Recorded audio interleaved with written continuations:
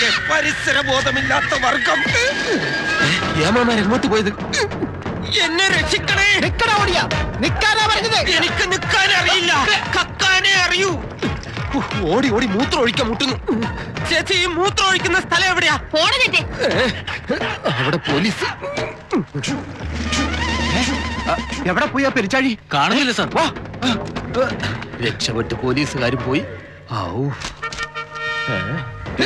ഞാൻ പിടിതരില്ല. പിന്നെയും പുറകെ വരുന്നു.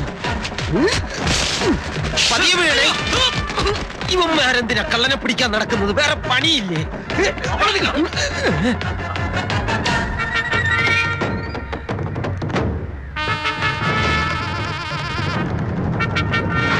പോകാം. വണ്ടി എവിടെയാ കിടക്കുന്നേ? അയ്യോ. പവിത്ര സാർ ഇങ്ങനെ മുട്ടുമടക്കി ഇടിക്കരുത്. പോലീസുകാർ കള്ളന്മാരുടെ മുമ്പിൽ മുട്ടുമടക്കാൻ പാടില്ല എന്ന് മുഖ്യമന്ത്രി പറഞ്ഞിട്ടുണ്ടെന്നേ. പോലീസുകാർ കള്ളന്മാരുടെ മുമ്പിൽ കൈ നീട്ടാൻ പാടില്ലെന്ന് മുഖ്യമന്ത്രി പറഞ്ഞിട്ടുണ്ട്. അതുകൊണ്ടാ നിന്നെ കൈ നീട്ടി അടിക്കാത്തത്. നീ എങ്ങനെയാണ് ഓടിയാ? ജനൽ വാതിൽ പൊളിക്കാതെ വീട്ടിൽ അകത്ത് കയറുന്നത്. അയ്യോ അതിന്റെ ട്രേഡ് സീക്രട്ടാ ഞാൻ പുറത്തു പറയില്ല. നിന്നെ കൊണ്ട് പറയിക്കാൻ പറ്റുമെന്ന് ഞാനൊന്ന് നോക്കട്ടെ. നിനക്ക് എന്റെ വീട്ടിലെ കയറണമല്ലേ അയ്യോ അടിക്കരുത് സാറേ. സത്യം പറയാലോ തൊണ്ടി മുതലെല്ലാം ഞാൻ എടുത്തോണ്ട് തരാം.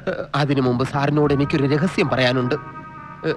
ഇവരുടെ ആരുടെയും മുന്നിൽ വെച്ച് പറയാൻ പറ്റിയ കാര്യമല്ല. പ്രമാദമായ ഒരു കാര്യം ഞാൻ സാറിന് കാണിച്ചു തരാം.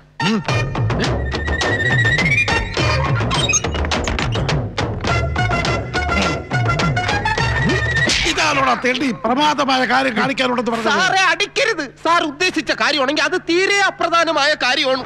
ഞാൻ ഉദ്ദേശിച്ചത് ദാ ഇതാണ് എനിക്ക് കാണിക്കാനുള്ളത്. സാറിന്റെ മകൾ എഴുതിയ പ്രണയ ലേഖനം ഇന്നലെ സാറിന്റെ മകളുടെ മുറിയിൽ നിന്നും കിട്ടിയതാ?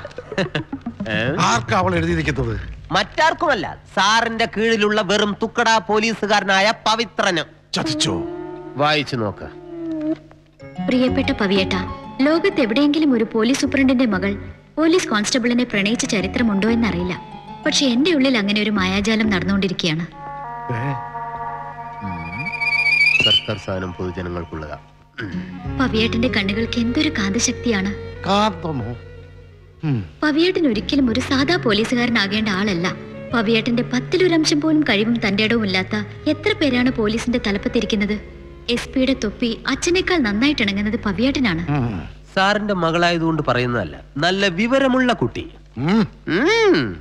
അച്ഛൻ എന്നെ ഐ ജിയുടെ മകനെ കൊണ്ട് കെട്ടിക്കാനുള്ള ശ്രമത്തിലാണ്.